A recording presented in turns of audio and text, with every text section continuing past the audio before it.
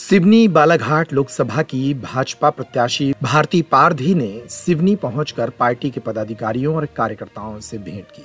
भारती पारधी अपना नामांकन दाखिल कर भाजपा कार्यालय सिवनी में पहुँची और कार्यकर्ताओं के साथ भेंट करते हुए आगामी चुनाव के लिए रणनीति बनाई।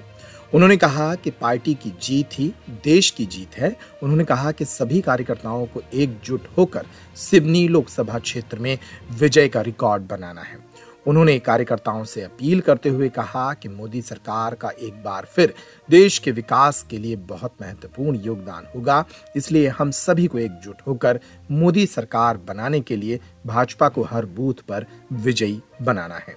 इस मौके पर उन्होंने कहा कि वे सिवनी के विकास में भी कोई कसर नहीं छोड़ेंगी।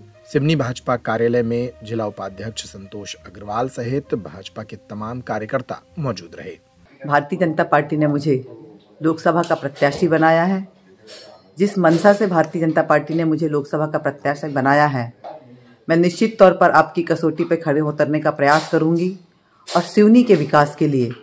जिस तरीके से कि हमारे पूर्व सांसदों ने जो कार्य किया है, क्योंकि यदि अगर देखा जाए तो स्वर्णिम एक विकास की और हमारे मोदी जी का भी कहना है कि विकसित भारत और स्वर्णिम भारत की कल्पना। तो उस विकसित भारत और स्वर्णिम भारत की कल्पना में हमको अपने लोकसभा क्षेत्र सिवनी बालाघाट को जोड़ना है। तो विकास के मुद्दों को लेकर हम जनता के पास जा रहे हैं और सिवनी की जो जनता की मांग है, विकास के क्षेत्र में, डेवलपमेंट के क्षेत्र में, उसको हम पूरा करने का प्रयास करेंगे।